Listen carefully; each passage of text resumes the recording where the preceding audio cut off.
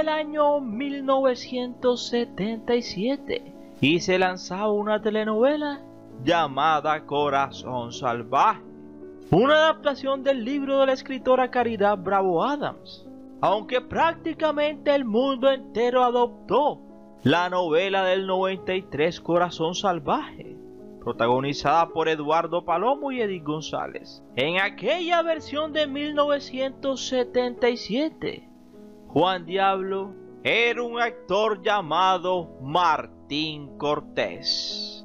Y no Palomo, tampoco Edith González, sino Angélica María, la coprotagonista. Sin embargo, la crítica sería abrumadora y criticarían tanto el papel de Juan Diablo, o sea, el de Martín Cortés, pero que el mismísimo Martín les terminaría callando la boca, con otras participaciones que hizo en novelas posteriores, donde fue el galán, como lo fue en la telenovela Una mujer marcada de 1979 junto a Sasha Montenegro y al final del arco iris del 82 junto a Miguel Palmer, Magda Guzmán y Olga Breskin. Y en 1980 haría la película Nuestro Juramento junto a Alicia Encinas y Laura Zapata. Pero su último rol protagónico en una telenovela sería en el año 1986 con el papel de Gerardo en la telenovela El Ave Fénix. En El Ave Fénix,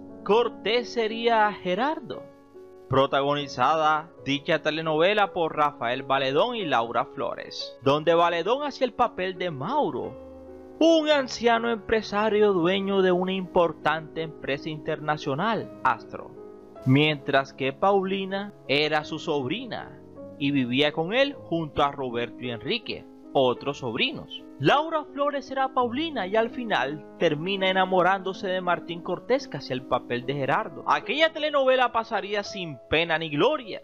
Bueno, más pena. Aparecería de nuevo en los años 2000, siendo coproductor de la película española Cabash. En 2005 también sería productor de otra película, La Punta del Diablo. Cortés se casaría en 1984 en la ciudad de Culiacán, Sinaloa. Estas son las últimas fotografías que se conoce de él. Fueron tomadas en el año 2014, mientras departía en la casa de un amigo en el estado de Nayarit, en México. Lamentablemente se supo de que el gran actor estuvo enfermo de cáncer en 2017. Aún desconocemos si partió o aún vive. Lo único cierto es que fueron muy injustos con él, los críticos, en algún momento en la televisión. Fue un gran actor sin duda, un legendario actor que merece un reconocimiento y un tributo a sus excelentes actuaciones. Quizá los segregacionistas de la época no les agradaba mucho al actor por el mestizaje pero eso nada tenía que ver con su gran talento. Así que aquí está el tributo a Martín Cortés. No sabemos si aún existe, porque parece que se lo haya tragado la tierra. Así que te invito a que te sientes, a que te relajes y que disfrutes del siguiente video porque somos 007 Videos, tu mejor opción y gracias por preferirnos. Recuerda que cada día somos más y que tú eres nuestra estrella, mis estrellas. Y no se les olvide suscribirse, compartir y darle like, mis estrellas.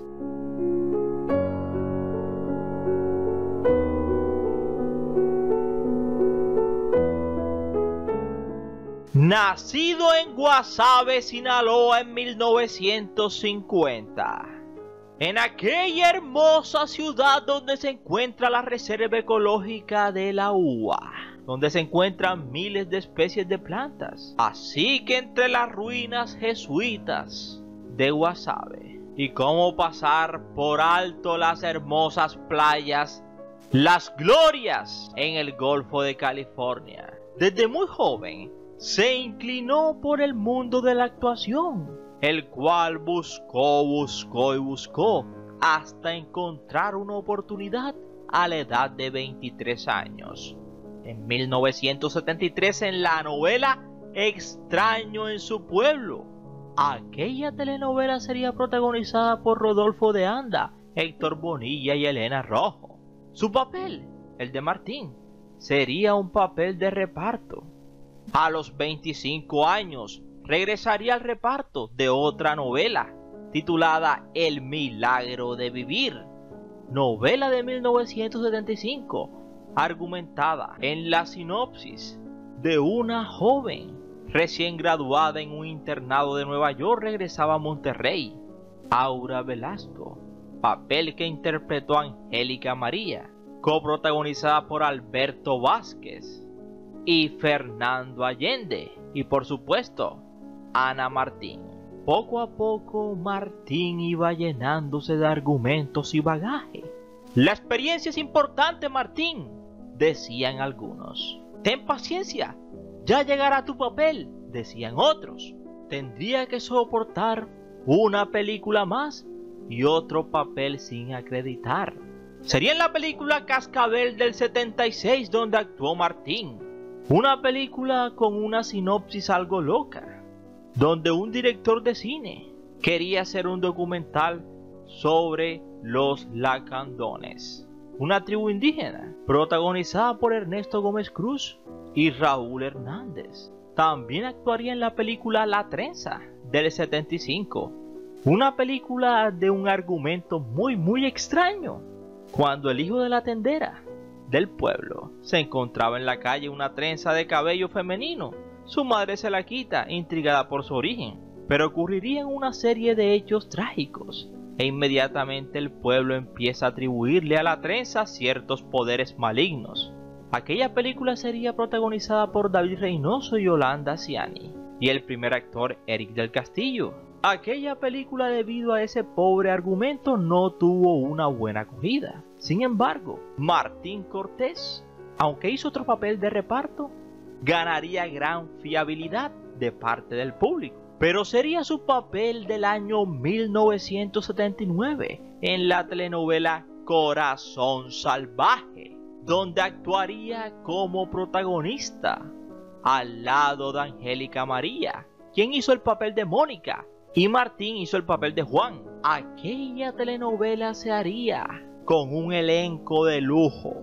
Sería la primera versión de la telenovela Corazón Salvaje, el remake de 1993 que hizo Eduardo Palomo y Edith González. Sin embargo, la versión del 77 para muchos fue la mejor. Lamentablemente, eran otros tiempos. El segregacionismo, la alteridad era criticada y lanzada a la periferia, ya que el prototipo de actores quizá no era uno que tuviera el cabello con rizos, sino el típico galán de buenas facciones, de cabello liso y largo, y aquellos criticones se saldrían con la suya. Para 1978, Martín Cortés participa en una fotonovela. Sí, fotonovela. No era el premio que le esperaba, pero bueno, sería algo así como uno de consolación. Entre las muchas que hizo se destacó La Clarividente junto a Yulisa. Aquel mismo año intentando resurgir su carrera. En 1978 le dan el papel de Gino Valenti, un papel coprotagónico en la telenovela Una mujer marcada. Y la mujer marcada era Sasha Montenegro, la hermosa Sasha. Aquella telenovela sería un fracaso y solamente terminarían haciendo 20 episodios, con su reputación un poco afectada por una mujer marcada, tendría una nueva oportunidad. Sería en la novela Al final del arco iris, novela protagonizada por Olga Breskin y él, Martín Cortés, acompañado de Magda Guzmán y Miguel Palmer. En aquella telenovela haría 180 episodios y era transmitida de 5 y media a 8 de la noche en 1982. Sin embargo, el trabajo empezaría a escasear.